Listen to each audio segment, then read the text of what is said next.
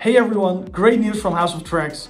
We are rolling out some exciting new features that will help you sell your music faster and attract more buyers. First up, we've listened to your feedback and yes, keys are finally here. When you upload a track, you'll now see an option to select the key of your track from the drop-down menu. This is going to be a required field, just like BPM.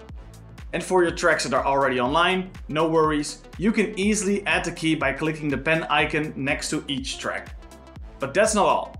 We're also introducing a brand new track description system to boost traffic to your track page. When you're uploading a track, give us as many details as you can that makes your track special. This will help us create the perfect description for it. This handy image will guide you on what kind of information to include. You'll find it on the upload page.